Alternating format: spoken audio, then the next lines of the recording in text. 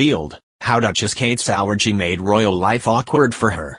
In 2006, the Duchess of Cambridge, who at the time was Prince William's girlfriend, reportedly made a confession to Australian author Kathy Lette at a society polo match. The writer is said to have stumbled on her watching the match from a small tent on the sidelines of the field. According to a 2009 Daily Mail report, Miss Lette asked the then 26 years old why she was not playing polo herself, to which Kate replied, I am allergic to horses. Despite allegedly being allergic to the animals, Kate told Paralympic medalist Lee Pearson in 2012 that she had taken up the sport, the Daily Telegraph reported. Speaking at a Buckingham Palace reception for Olympic and Paralympic athletes, Mr. Pearson disclosed he had even offered the Duchess dressage lessons. Mr. Pearson, who at the time won his 10th Paralympic gold medal, said, Kate said she's learning to ride so I offered to give her some lessons.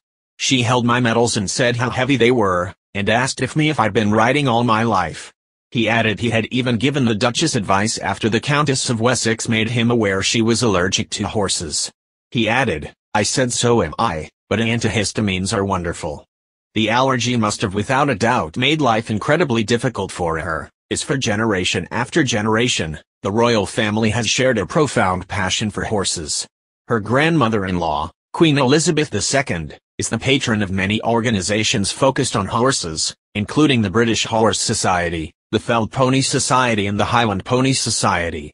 Her enthusiasm for horse racing can also clearly be seen every time she attends Royal Ascot and she has even celebrated her love for the animals by dedicating to two of her horses a life-size statue in Windsor.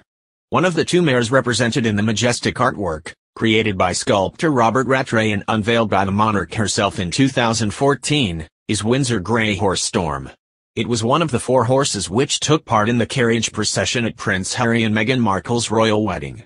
The Queen's love for these majestic creatures was later passed on to her daughter, Princess Anne, and her granddaughter, Zara Tindall, who both represented Great Britain at the Olympics.